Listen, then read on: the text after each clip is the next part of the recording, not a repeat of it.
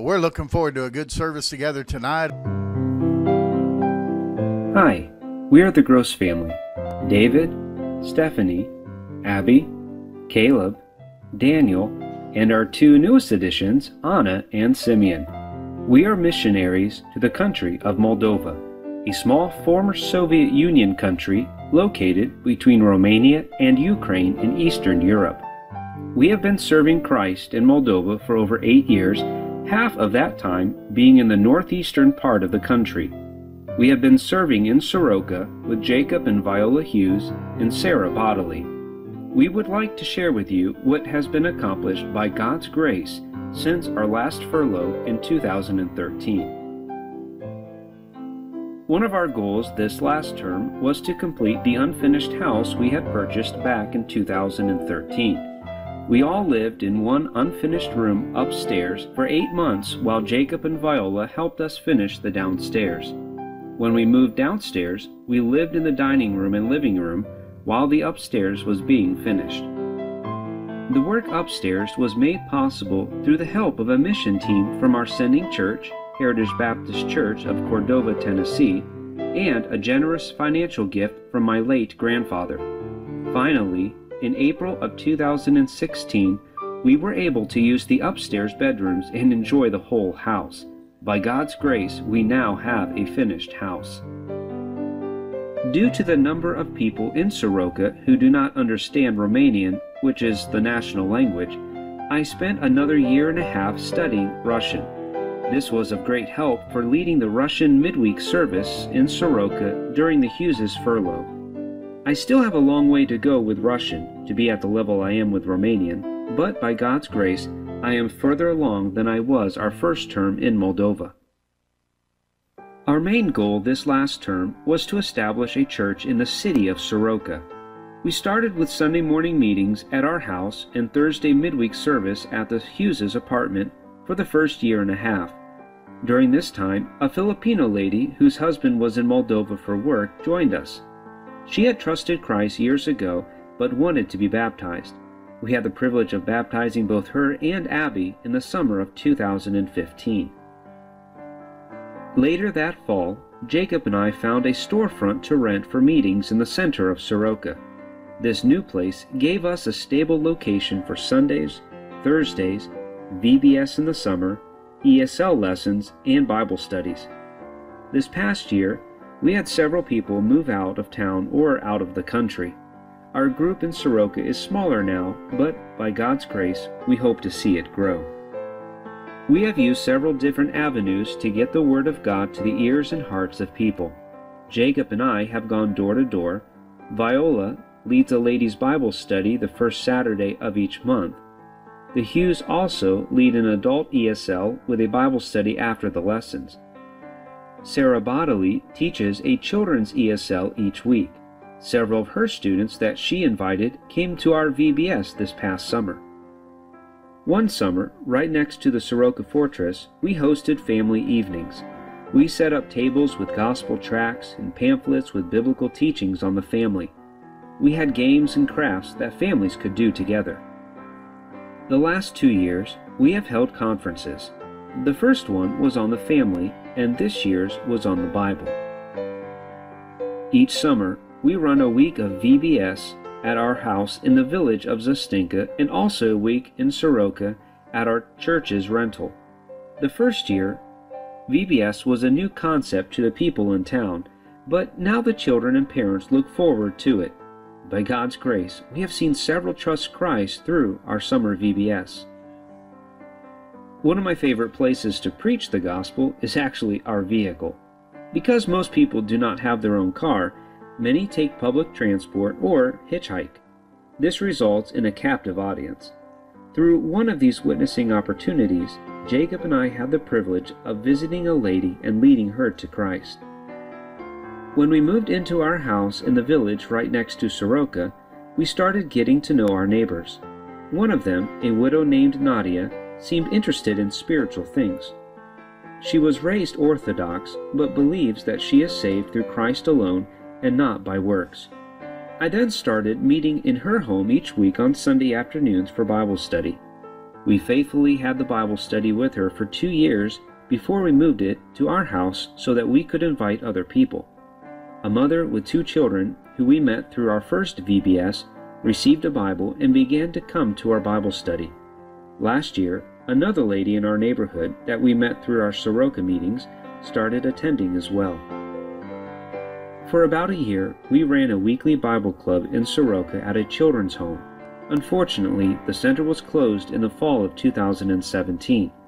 At the same time, though, a private center opened in the village just north of Soroka, and several of the young people from Soroka were sent there. We met with the director there in the village and were welcomed to do the weekly Bible club there. We took several of the young people from the center to a Christian camp this past summer. What a joy it was when one of them trusted Christ as his Savior. By God's grace, our team will continue ministering to these young people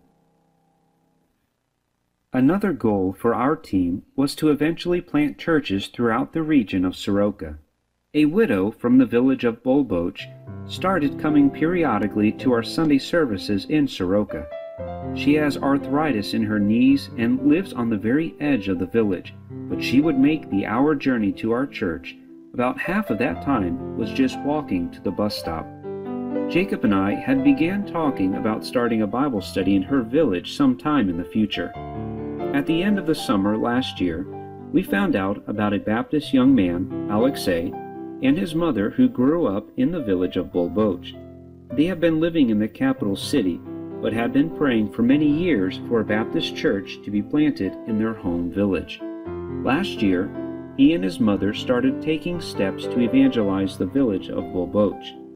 Last year in September, he organized a medical missions team to come and asked if Jacob and I would preach the gospel to those who came to the clinic. We gave the gospel to around 400 people. Of those, almost 70 asked for us to visit them again and give them a Bible. The following two months, Jacob and I individually met with people and gave them the Bibles and offered home Bible studies. During this time, we found out about a small group of Baptists and a couple Pentecostals from Bolboch and neighboring villages that had been meeting in the village for the past eight years. A Pentecostal pastor from a village an hour away had been preaching there, but requested us to take it over. With this new church plant placed in our laps, we ended up having three services each Sunday one in Soroka, one in Bolboch, and then the Bible study at our house in Zastinka. At our team retreat in August, we re-evaluated the busy Sunday schedule and decided to end the Bible study at our house and invite them to the Soroka meetings instead. By God's grace, we hope to see the works in Bolboch and Soroka grow. Upon our return to Moldova, we plan to lead the church plants in Soroka and Bolboch to become officially organized and self-sufficient. We plan to grow the groups we have through evangelism and discipleship. We are also praying for the Lord to provide Moldovans to lead the work in the future. Thank you for praying for us and faithfully giving. By God's grace, much was accomplished, and much more will be accomplished in the future.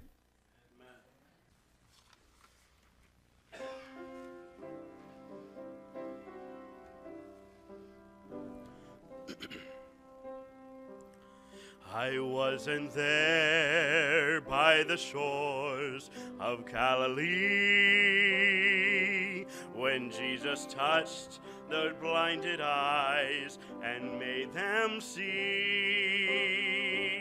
And though I did not see the empty tomb that day, I still believed, for I know what Jesus did for me. I believe there is power in the blood of the Lamb, and I believe that there is healing in the touch of his hand. But that greatest of all miracles was when my Jesus saved me. Yes, I know what Jesus did for me.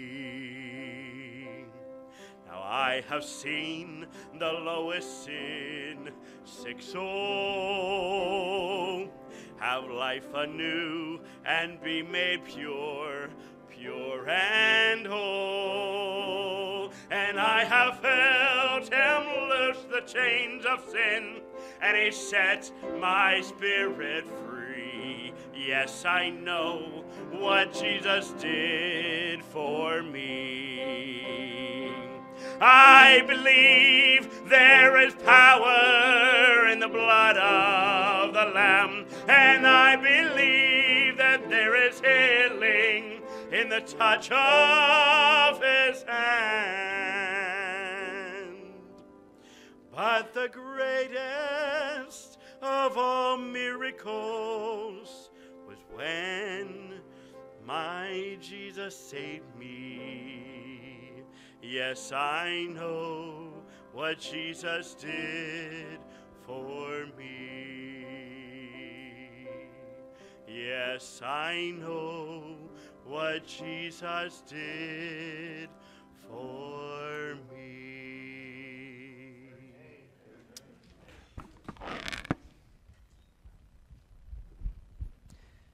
Go and take your Bibles. We'll be in the book of Revelation this evening.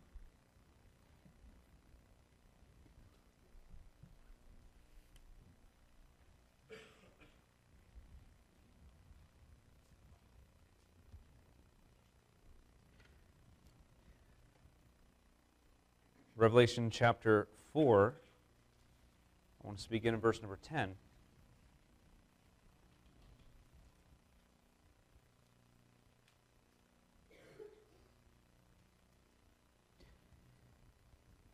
Over in Moldova, it's very interesting. We have uh, just about any kind of group you can imagine.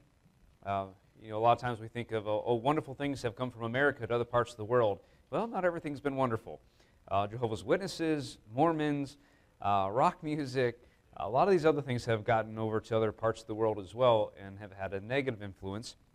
Um, one of the things that we deal with in Moldova are the Jehovah's Witnesses. And one of the things that uh, it's been a little side study of mine is uh, studying on the deity of Jesus Christ and being able to have an answer to give to them on Jesus Christ being our Jehovah God.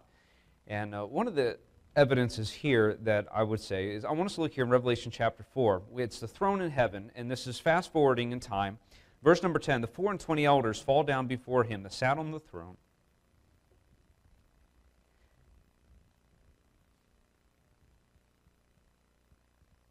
And worship him that liveth forever and ever, and cast their crowns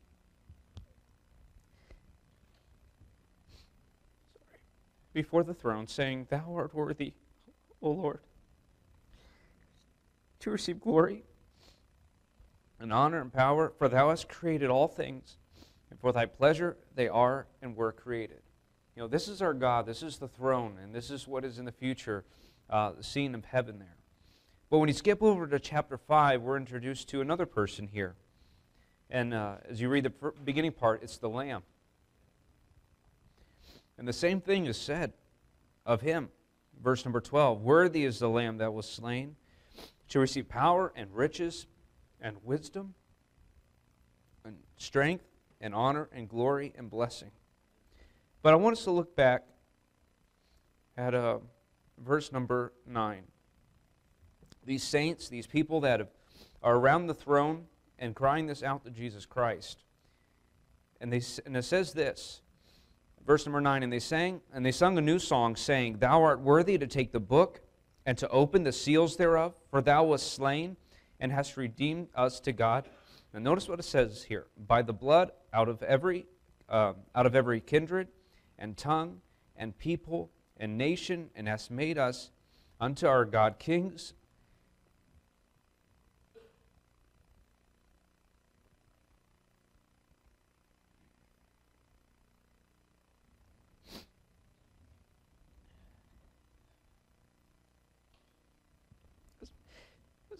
Made us kings and priests, and we shall reign on the earth.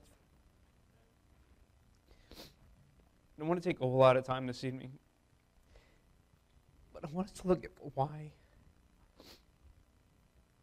Sorry, there are tissues up here. There's water. You guys are prepared for that, but I'm not having a problem with water. Sorry. Uh, when you look here, this is in the future. This is a date that is scheduled. Just as real as our date for going back to Moldova being January 15th. This is going to happen, folks. It's already scheduled. We're not going to change it. Government can't change it. I don't care who we, we run into, it's not going to change. Now, I love how it says here it says that there's going to be people that will be there that are redeemed out of every kindred and tongue and people and nation. This is why we don't just simply reach the people in our one location, but we have the goal of reaching the people throughout the world. This is why we are in Moldova. My coworker Jacob at our t- annual team retreat this year, he preached, uh, he gave a devotional here in Revelation chapter 4 and 5, and his point was this that he is worthy. In fact, I've been signing that in my emails and correspondence with people with that. He is worthy. And it's been at the forefront of my thoughts and my motivations why do we want to go back to Moldova? Because he is worthy. And all your other people that you have sent out and are working, what is, why did you do what you did this morning with feeding all those people, with inviting them to come for them to hear the gospel? It's because he is worthy. You know, when it all boils down to it, this is our greatest motivation that he is worthy. Now, notice the scope of this, of his goal. His goal is for people from all kindreds, of all countries, to worship him. The Bible says he doesn't find the pleasure in the punishment of the wicked. When we read in Scripture in 2, 2 Peter chapter 3, verse 9, it says that he's not willing that any should perish, but that all should come to repentance. We see God's heart's desire here. We see what he, he wants. And when you look in, uh, and also in 2 Timothy, he also ends up saying that, uh, that his desire is for, um, for all to be saved. This is his heart's desire. This is God's, God's passion on this. Um, 1 Timothy 2 4 is actually the verse. Let me, let me read that. 1 Timothy 2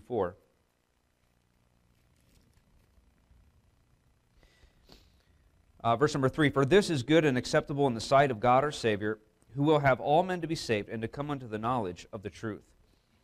This is what God's heart's desire is, is for all to come to the knowledge of the truth, for them to know Jesus Christ.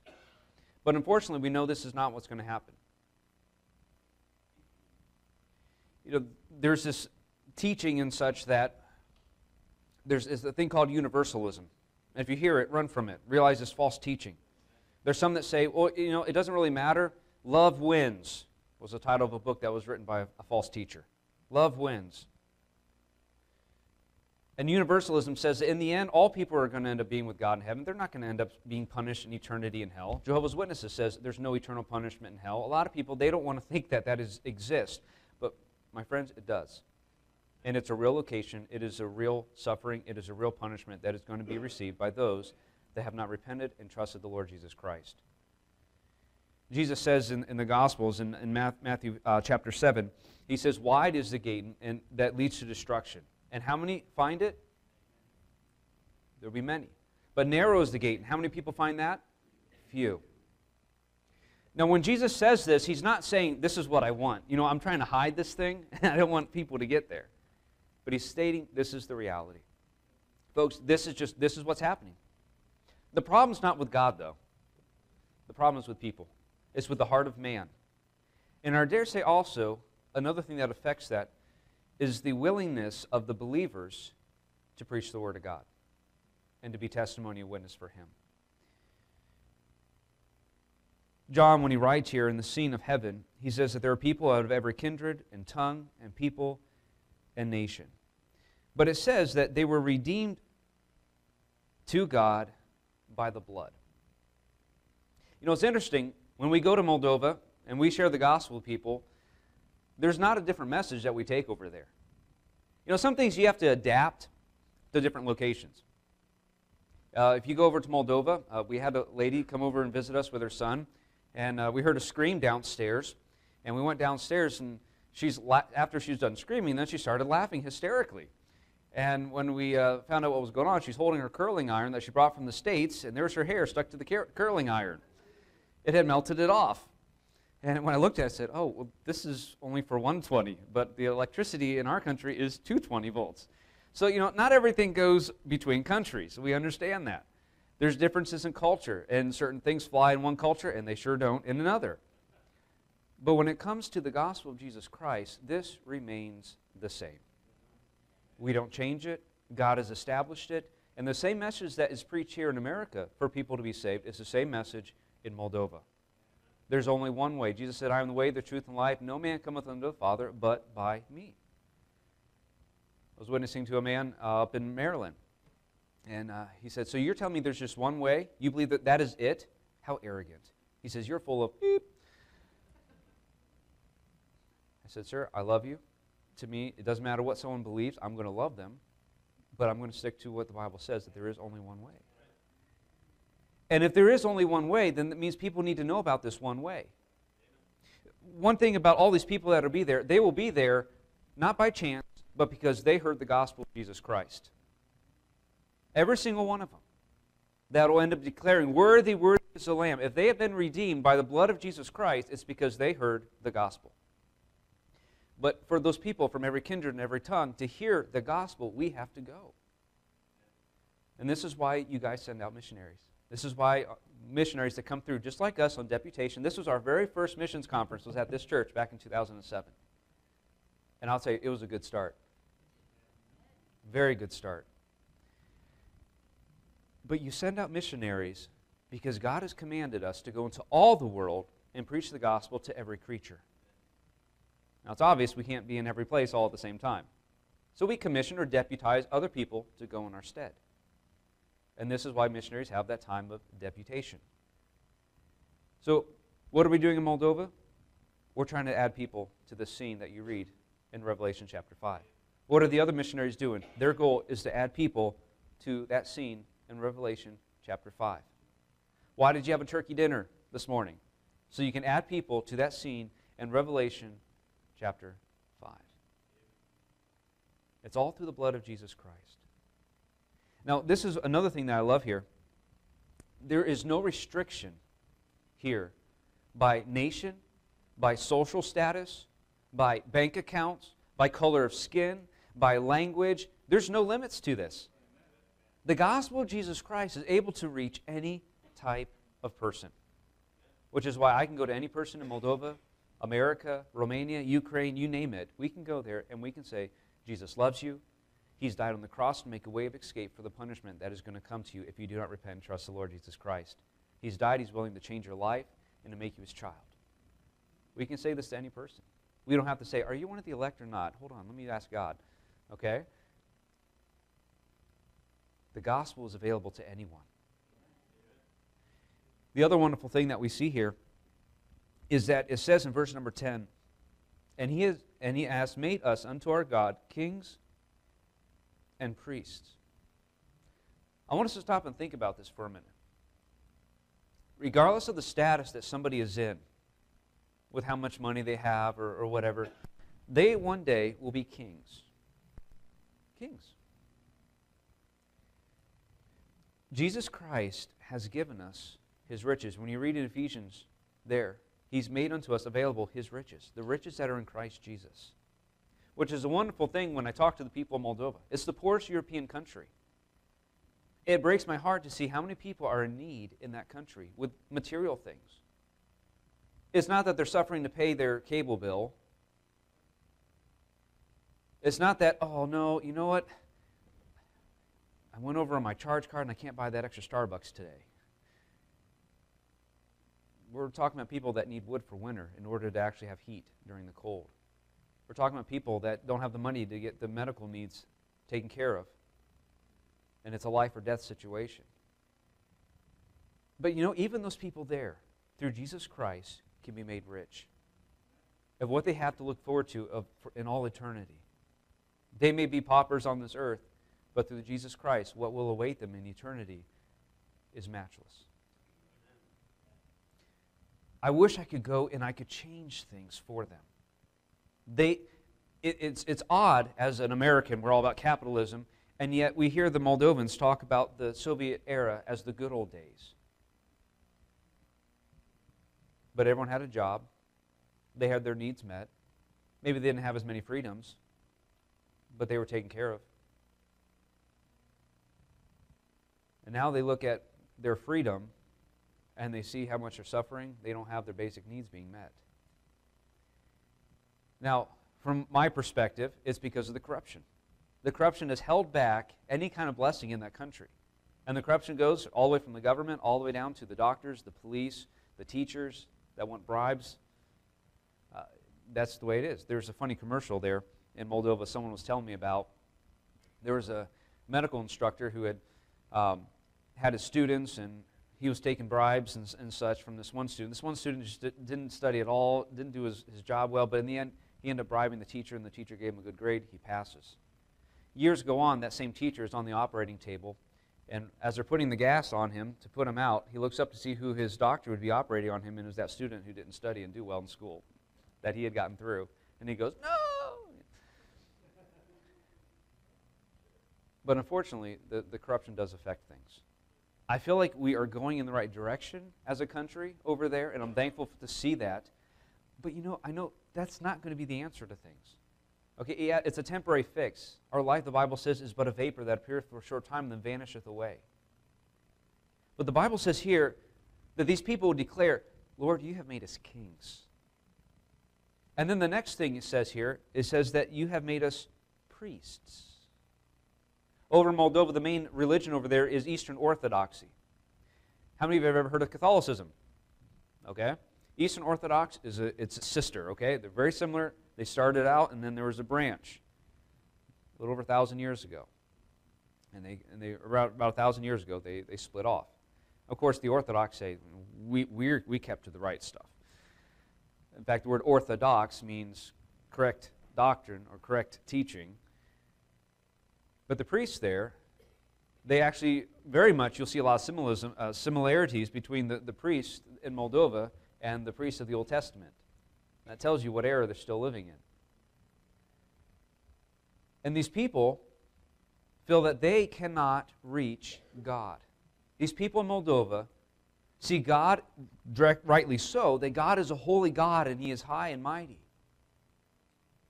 And they feel very unworthy.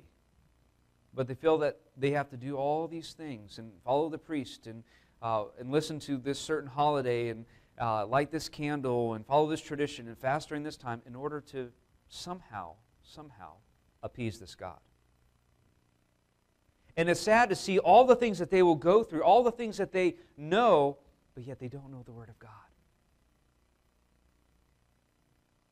But through Jesus Christ, who is our mediator, our great high priest, he has made us priests. We don't have to go through some man on this earth to know our God. Jesus Christ, He tore that, the, the curtain in that temple from top to bottom. We now have direct access to this holy God. Not because of who we are, we are sinners. But it's through Jesus Christ. It is through, as they said, through His blood that has cleansed us and has washed us from our sins. And the people of Moldova need to hear this. The people of all these other countries, they need to hear this that Jesus Christ has died to make us priests, to make us to be able to come to our Savior.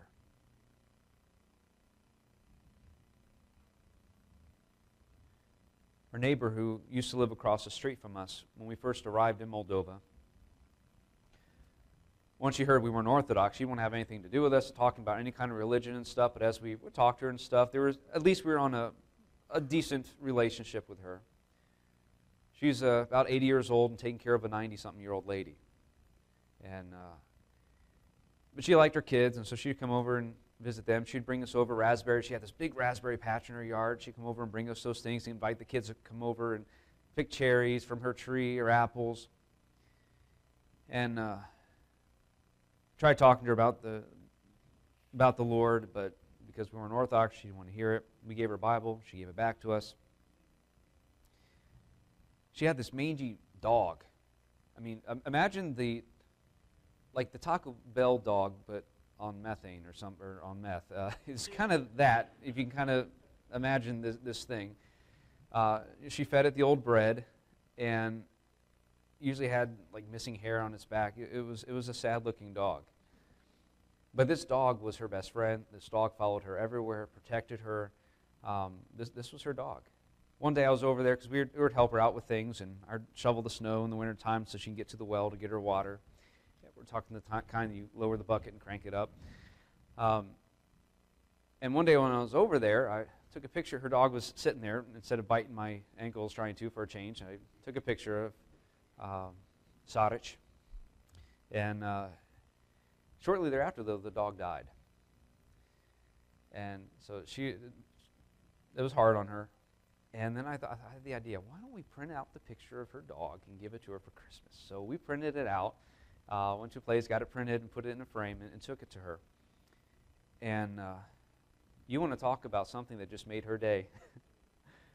you know, it's, it's, interesting, the Moldovans, the Orthodox, they have icons of all these priests and Mary and Jesus and such. They have, she has them all in her house. Now she has her icon of her dog. Uh, I don't think she praised him, though. But that Christmas, I was able to sit down in her house and go through the gospel with her, and she listened to it. And you know how hard it was to hear her? She's up there in years and says, You know, I, I, I still believe you. Know, we have to we have to do these good works. And she said, I'm old. I can't do the good works I used to do. I don't know if I'm going to. I don't think I'm going to make it. I don't think I'm going to make it into heaven. And telling her, listen, it's not going to be by what you do. It's through what Christ has done. This is what the people are thinking. They are going through this life, poor as all can get out, and not realizing that they can become kings and priests through Jesus Christ. What a joy it is to be able to know our God, to know that we are not poor, regardless of what we have on this earth. We are rich in Christ. That's why we should be some of the most joyous people on the earth. And we're priests as a little side note, do you take advantage of that? Do you go directly to God? Do you spend time with Him? Do you talk to Him in prayer? You have the right to as His child. Because you, we believe in what's called the priesthood of the believer. And, and they, so this, this group, and, and they're singing, it says in verse number 12 of Revelation chapter 5, saying with a loud voice, Worthy is the Lamb that was slain to receive power and riches and wisdom and strength and honor and glory and blessing. Now, this number is going to be without number. There's going to be a lot of people there. Throughout the span of history, yes, there's going to be a lot of people there.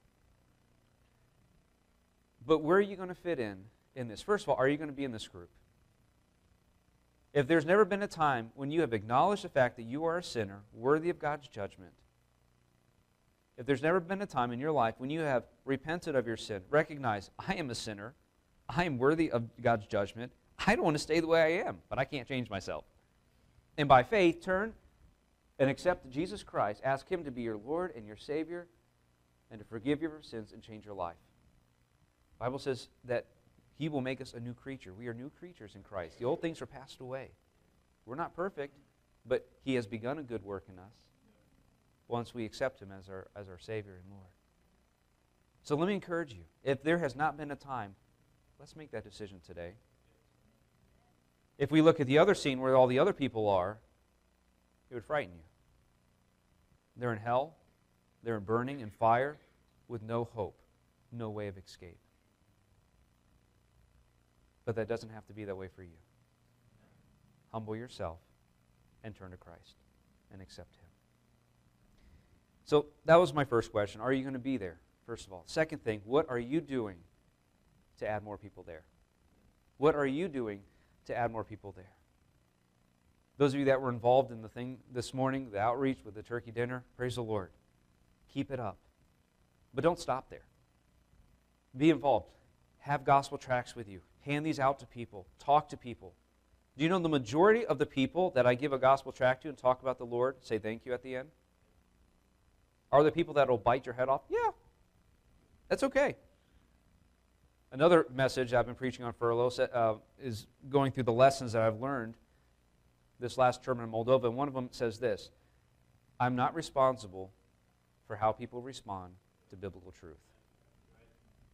You got to leave that in God's hands. I am responsible to speak the truth in love. So if you're not involved in that, I encourage you to get involved in it.